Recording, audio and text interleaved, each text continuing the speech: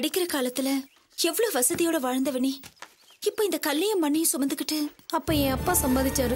சந்தோஷமா இருந்தேன் இப்போ எல்லாத்தையும் புருஷன் அழிச்சிட்டானே. என்ன பண்றது? உண்மையை சொல்லணும்னா இந்த கல்லையும் மண்ணையும் சுமக்கிறது கூட எனக்கு கஷ்டமா தெரியல. ஒரு பொண்ணு அவ புருஷன் கூட வாழாம தனியா இருந்தா இந்த ஊர் உலகம் அவளை பாக்குற பார்வை இருக்கே. அது ரொம்ப கொடுமை அர்ச்சனா. என்னடி சொல்ற? புருஷன் பாதுகாப்பு இல்லைன்னு தெரிஞ்சாலே மற்ற ஆம்பளைங்க பார்க்குற பார்வையே வேற மாதிரி இருக்கும். அவங்க பழகிறது பேசுறது நடந்துக்கிறது எல்லாமே அவங்கள அட்ஜஸ்ட் பண்ணி போகணுன்ற மாதிரியே இருக்கு. அதை தான் என்னால் தாங்கிக்க முடியல அர்ச்சனா. அக்கம் பக்கத்தில் இருக்கிறவங்க என்னை வாழ வெட்டின்னு சொல்லி வார்த்தையிலேயே கொள்றாங்க நான் யதார்த்தமா எந்த ஆம்பளைகிட்டயாவது பேசினாலும் அவனை வளைச்சு போட பாக்குறான்னு என் காது படவே பேசுறாங்க. அதுவும் பேசுறது ஆம்பளையா இருந்தா கூட பரவாயில்ல. பொம்பளையே பொம்பளைய பார்த்து பேசும்போது எனக்கு ரொம்ப வேதனையா இருக்கு அர்ச்சனா. அர்ச்சனா நல்லதோ கெட்டதோ புருஷன் கூடவே வாழ்ந்து செத்து போறதுதான் ஒரு பொம்பளைக்கு நல்லது. பேசாம உன் புருஷன் வீட்டுக்கே நீ போயிடலாம்ல? அங்க போனா என் புருஷன் அடிச்சு கொண்டு வரணும் பயந்துகிட்டு என் அப்பா அம்மா அனுப்ப மாட்டேன்றாங்களே. அது அம்மா கரெக்டு உங்க அப்பா அம்மா சொல்றதே கேட்டு நடந்துக்க. நீ இங்க இருக்கிறதுனால உனக்கு சந்தோஷம் இல்லாம இருக்கலாம். ஆனா பாவம் உங்க அப்பா அம்மா. பொண்ணு தான் கூடவே இருக்குதுன்னு ஒரு ஆறுதல் அவங்களுக்கு இருக்கும். நீ உன் புருஷன் கூட இருந்து உனக்கு ஏதாவது ஒன்று ஆயிடுச்சுன்னா அவங்களால என்ன செய்ய முடியும் சொல்லு. அங்க போனா உடம்புக்கு நோவு இங்க இருந்தா மனசுக்கு கஷ்டம். என்ன பண்றது என் கஷ்டம் என்னோடய போகட்டும். நீ எப்படி இருக்க அர்ச்சனா? இருக்கேன். ஏமா சரி ஆ, வந்ததே லேட்டு. அங்க என்ன வெட்டி நியாயம் பேசிக்கிட்டு ஆ? போம்மா போய் வேலையை பாரு. போ அங்க பாரு அந்த ஆளுக்கு என் மேல ஒரு கண்ணு. என்ன பண்றது? வளைஞ்சு கொடுக்கறவளா இருந்தா திட்ட மாட்டான் எல்லாம் சகஜமா போச்சு. வரேன் அர்ச்சனா வரேம்மா.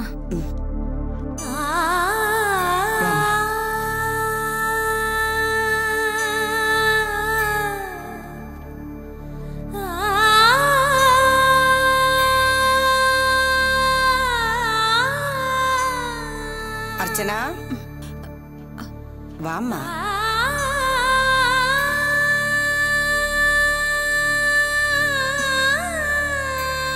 பாவமா கோமதி.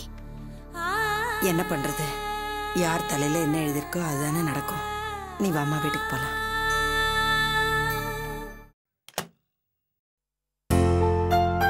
அம்மா?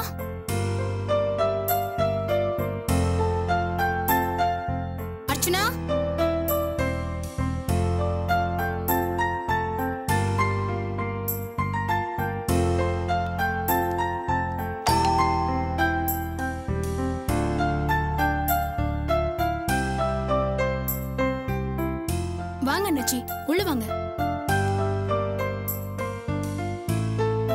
உட்காருங்க. அம்மா இல்லையம்மா?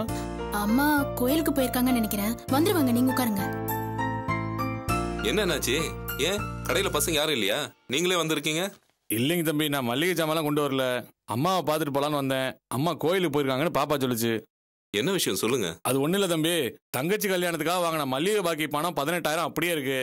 நானும் அப்பா கொடுப்பீங்க இப்ப கொடுப்பீங்கன்னு எதிர்பார்த்துட்டு இருந்தேன். நீங்க கொடுக்குற மாதிரி இல்ல. அதான் நேரடியா வந்து கேட்டுட்டு போலான்னு வந்தேன்.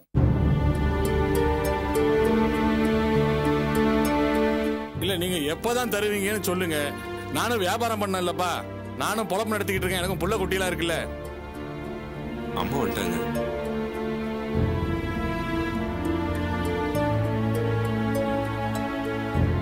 வாங்க. இந்த பாக்கி விஷயமா பார்த்துட்டு போலான்னு வந்தேம்மா. இத்தனை நாள் பொறுத்துக்கிட்டீங்க. இன்னும் கொஞ்ச நாள் பொறுத்துக்கிட்டீங்கன்னா எப்படியாவது புரட்டி கொடுத்துருவோம். ஆமா அண்ணாச்சி நான் இப்போதான் வேலையில் சேர்ந்திருக்கேன். ஒரு ஒரு மாசம் பொறுத்துக்கோங்க. உங்க கடனை அடைச்சிடுறேன். இத பாருங்க தம்பி உங்க நிலைமை தெரிஞ்சா நானும் இவ்வளவு நாள் பொறுமையா இருந்தேன். ஆயிரம் ரெண்டாயிரம்னா நான் எப்படியா சமாளிச்சுப்பேன். பதினெட்டாயிரம் இது பெரிய தொகை.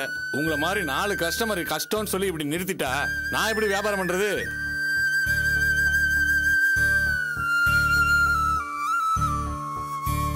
அண்ணாச்சி அது வந்து அம்மாவுக்கு எதிர்பாராம ஹாஸ்பிட்டல் செலவு வந்துருச்சு. கையில இருந்த பணம் அதுக்கு செலவாயிடுச்சு. அதனால தான் உங்க கடனை கொடுக்க முடியல. கொஞ்சம் அட்ஜஸ்ட் பண்ணிக்கோங்க ப்ளீஸ் இது மாதிரி தம்பி குடும்பம்னு இருந்தா செலவு இருக்க தான் செய்யும். இப்ப ஹாஸ்பிட்டல் செலவை எப்படி கவனிச்சீங்க? கடனை உடனே வாங்கி தானே அதை போல எனக்கு கொடுத்துருங்க. நானும் பொழப்பு நடத்தணும்ல. ஏதோ தாயா புள்ளையா பழகிட்டோமே. ரெகுலர் கஸ்டமர் ஆச்சேன்னு நானும் பொறுமையா போயிட்டு இருந்தேன். என் பொறுமையை சோதிக்காதீங்க. இத பாருங்க இன்னும் ரெண்டு மூணு நாளா எனக்கு பணம் வந்தாகணும். இல்லைன்னா நல்லா இருக்காது. நான் வரேன்.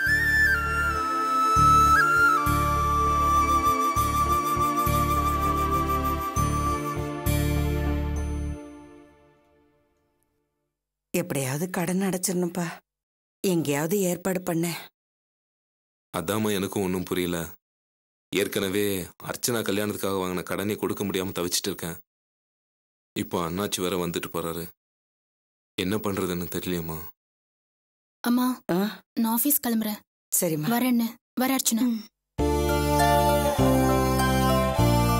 பா இன்னும் ஒரு வாரத்துக்குள்ள பணத்தை திருப்பி கொடுத்துடணும்ப்பா. இல்லைன்னா அசிங்கமா போயிடும். இல்லம்மா எப்படியாவது ரெடி பண்றேன். கண்டிப்பா கொடுத்துடலாமா டைம் ஆயிடுச்சு. நான் கிளம்புறேம்மா. சரிப்பா. வரேம்மா.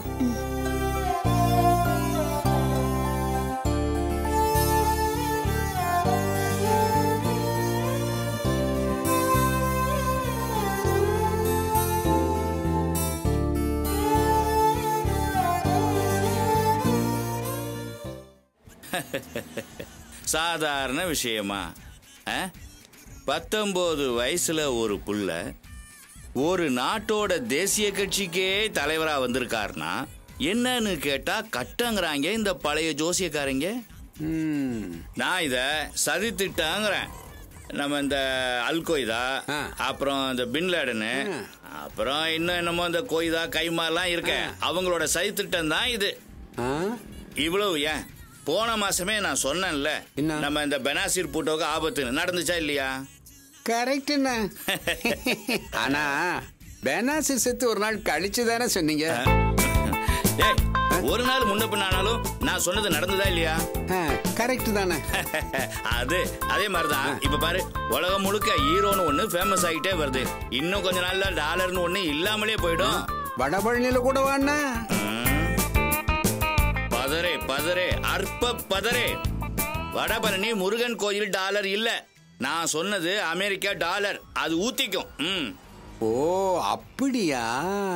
ஆமா. உலகம் முழுக்க டாலர் மதிப்பு குறைஞ்சிக்கிட்டே வருது. இப்பவே.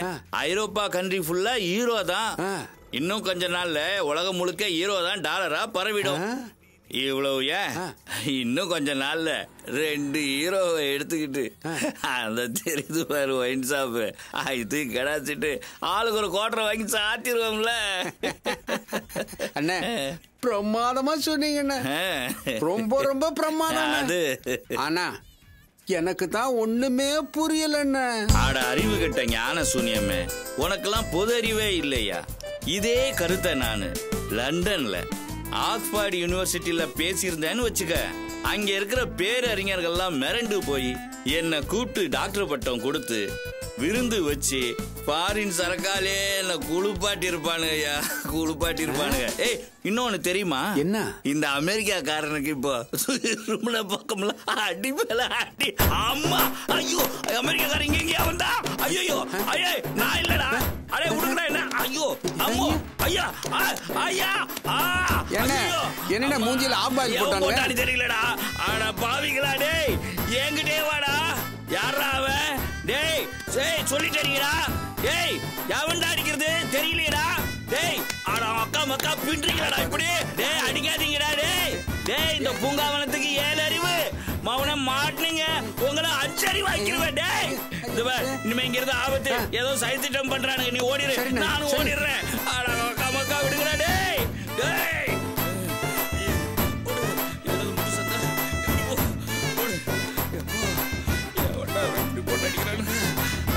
ஆகுங்களா அடிக்கு ரெடி காயமே தெரியக்கூடாது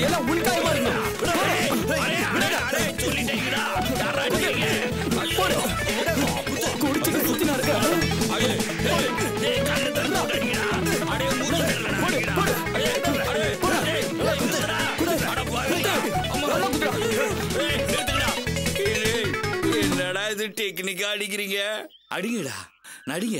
நல்லா சந்தோஷமா அடிங்க ஆனா எந்த நாட்டுக்காரன்னு சொல்லிட்டு நானும் சந்தோஷமா அடி வாங்குவேன் நீ நீங்களும் சந்தோஷமா அடி அடிப்பீங்க அடிக்கிறதுக்கு மட்டும் தானே காசு கொடுத்துருக்கானுங்க யாருன்னு சொல்றது கொடுக்கலாம் போடுங்க ஐயோ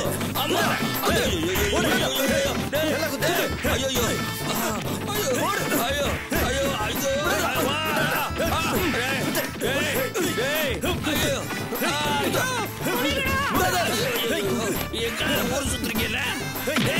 இதெல்லாம் சாமி ஊர்வலம் காட்டுற மாதிரி அடா, பாவிங்களா, ஐயா ஐயா என்னால முடியலையா? என்னால முடியல. எனக்கு அடி வாங்குறதுல பிரச்சனை இல்லையா? ஆனா யார் அடிக்கிறீங்கன்னு தெரியலையே. சொல்லிட்டு அடிக்கையா என் துணி அவருங்க. நான் பாக்குறேன் உங்களை. என்ன குத்து குத்துன்னு குத்துனீங்களே. உங்க புண்ணான முகத்தை நான் பாக்குறேன். எங்கடா சத்தத்தை காணும்? நண்பர்களே எல்லாம் முடிச்சிட்டீங்களா? இல்ல மறுபடியும் அடிக்கிறதுக்கு இடைவேளை விட்டுருக்குறீங்களா? டேய் எங்கடா யாரையும் காணா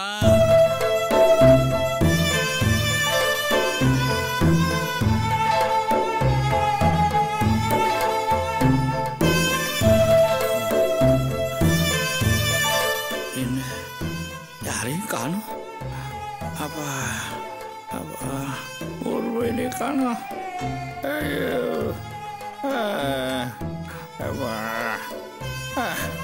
ஐயோ போங்க அவனா அம்மா இது ஹைலைட் செய்திடா எவனோ உள்ளூர் டெக்னிக் யூஸ் பண்ணி அடிச்சிட்டா டேய் நீங்கள் ஐஎஸ்ஐ இருந்தாலும் சரி இந்த உல்ஃபா நக்சல் பக்சல் என்ற கம்யூனிட்டி இருந்தாலும் சரி ஏ ஏ ரத்த பந்தம் அம்மா வலிக்குதுடா ஏ ரத்த பந்தமா இருந்தாலும் சரிடா.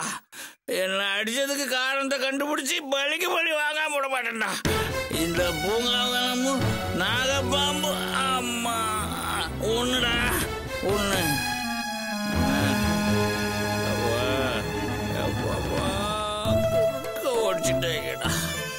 ஐயோ எங்கேயாவது இருக்கிறாங்களா அப்போ யாராவது பாத்திர போறாங்க? இந்தாங்க. தேங்க்ஸ் ரா மச்சான். என்னதான் இருந்தாலும் இந்த பணத்தை வாங்கும்போது மனசுக்கு கொஞ்சம் கஷ்டமா தான் இருக்கு. பெத்த தகப்பனே இப்படி அடிக்க சொல்லாமா? நான் அடிச்சா ரொம்ப தப்பாயிடும். அதான் உங்களை அடிக்க சொன்னேன்.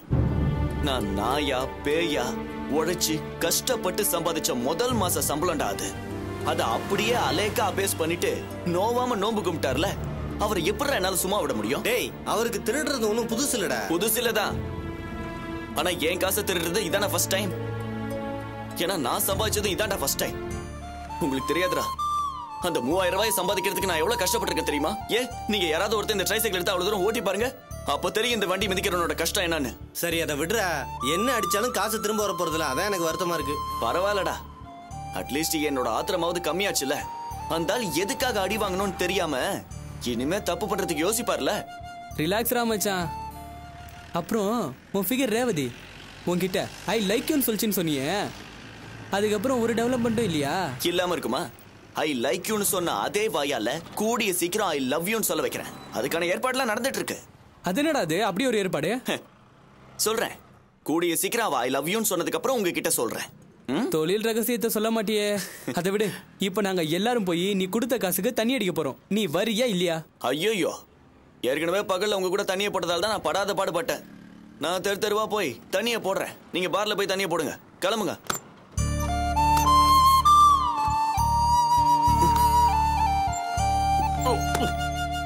டேய் கொஞ்சம் தள்ளுங்கடா. தள்ளு. ஆ, விடு. கொடுத்த காசு இப்பதான்டா உழைக்கிறீங்க. அர்ச்சனா. குடிக்க கொஞ்சம் தண்ணி கொண்டாமா எடுத்துட்டு வரேன்ப்பா. அம்மா.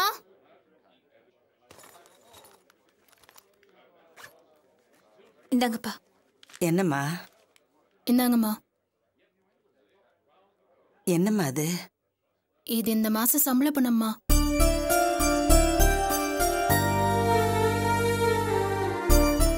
என்னம்மா யோசிக்கிற? புடியம்மா ஐயோம்மா நான் பழைய காவியா இல்லம்மா. நான் எப்பவோ திருந்திட்டேன். புடிமா இல்ல பரவாயில்ல நீயே வச்சுக்க. ஐயோ சொன்னா கேளுமா புடிமா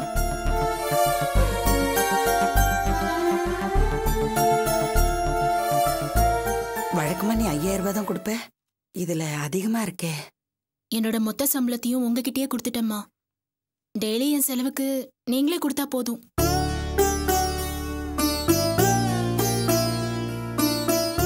இத்தனை நாளா நான் உங்களை தப்பா நினைச்சுக்கிட்டு இந்த பண விஷயத்துல நான் ரொம்ப மோசமாவே நடந்துக்கிட்டேன். அதெல்லாம் நினைச்சு பார்க்கும்போது எனக்கே ரொம்ப அசிங்கமா இருக்கு. உங்களெல்லாம் விட்டு நான் இந்த வீட்டை விட்டு வெளியே போனதுக்கு அப்புறம் தான் உங்க அருமை என்னன்னு எனக்கு தெரிஞ்சுச்சு. குடும்பம்னா என்ன? பெத்தவங்கன்னா என்னன்னு? இப்போ நான் நல்லாவே புரிஞ்சுக்கிட்டேம்மா. நம்ம வீட்ல இருக்கிற பண பிரச்சனை என்னன்னு? காலையில நடந்த விஷயத்துல தான் நான் புரிஞ்சுக்கிட்டேம்மா. இந்த பணம் இப்போ நம்ம குடும்பத்துக்கு ரொம்ப முக்கியம். கொண்டு போய் அந்த மளிகை கடைக்காரங்கிட்ட கொடுத்துட்டு பாக்கி எல்லாம் செட்டில் பண்ணிடுங்கம்மா. ஆயிரம் ரூபாய் கொடுத்தியா? யார கேட்டு கொடுத்த? சம்பாதிக்கிறது நான். நான் யாரை கேட்கணும்? உன்னை நினைக்கும் போது எனக்கு ரொம்ப சந்தோஷமா இருக்குமா? இப்படி நீ குடும்ப பொறுப்பை உணர்ந்து பேசுறத பார்க்கும்போது என் மனசுல பூரிச்சு போகுது. அம்மா. என்னம்மா? நான் ஒரு விஷயம் சொன்னா தப்பா எடுத்துக்க மாட்டீங்களே? எடுத்துக்க மாட்டேன். சொல்லு. நான் இந்த வீட்டை விட்டு தனியா போயிருந்த அனுபவத்துல சொல்றேம்மா. ஒரு பொண்ணு கல்யாணத்துக்கு முன்னாடி பிறந்த வீட்டை விட்டு போறதும் தப்பு. கல்யாணம் ஆனதுக்கு அப்புறம் பிறந்த வீட்ல இருக்கிறதும் தப்புமா?